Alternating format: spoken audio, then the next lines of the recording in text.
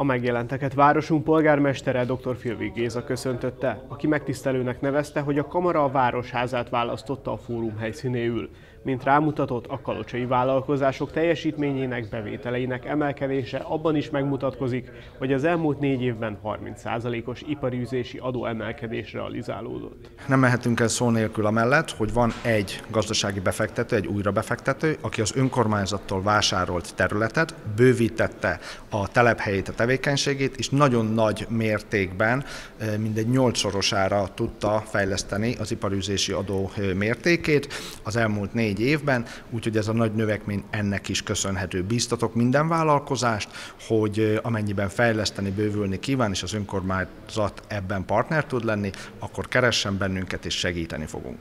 A polgármester szerint a Kalocsa-Paks Duna híd június 6-ai átadásával a város és a térség előtt egy új, nagy lehetőség nyílik meg a piaci lehetőségeik kinyílnak a Duna túloldalára, a Paksi térségben is, úgyhogy egy nagy fejlődés előtt áll, mind a vállalkozói kör, mind Kalocsa térsége, és ezt kell összefogva, összehangolva eredményesen kihasználnunk. A folytatásban Sziráki Szilárd a kamara alelnöke köszöntötte a megjelenteket és osztotta meg gondolatait a Városházán tartott fórumon.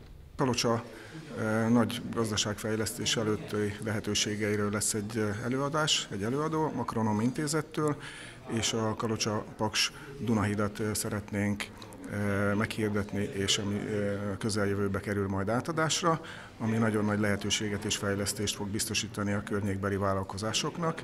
Itt értem a, logisztikai szempontból, hogy például az M6-os autópálya percek alatt elérhető lesz a vállalkozások számára, és ez a Kalocsa-Paks Dunahíd ez lehetőséget nyújt, mint Kalocsán a turizmusnak is nagy lehetőséget fog biztosítani az érsekség, mint turisztikai látványosság és mint Kalocsa város gyöngyszeme közelebb és elérhetőbb lesz a Dunántúliak részére is.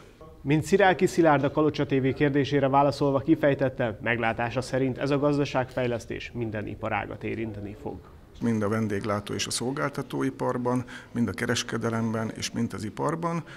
Kalocsának az ipari park fejlesztése is nagy lehetőséget, nagy lehetőségek előtt áll itt a Kalocsa Paks Dunahíd átadását követően.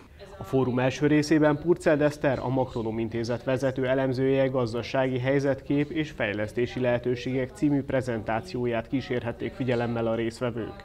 Mint rámutatott, a gazdasági bizonytalanság mértéke csökkent az elmúlt időszakban.